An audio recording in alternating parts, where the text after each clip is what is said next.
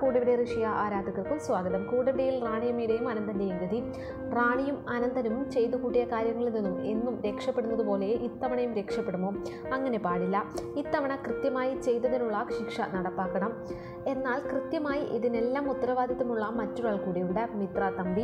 അപകടത്തിൽ നിന്നും തലനാരിരക്കായിരുന്നു സൂര്യ രക്ഷപ്പെട്ടത്. അവളുടെ മരണം അല്ലെങ്കിൽ അവൾ ഇനി ഉണ്ടാകരുത് എന്ന് ആഗ്രഹിച്ചു തന്നെയാണ് മിത്രയും തേവർമലയിലേക്ക് പോയത്.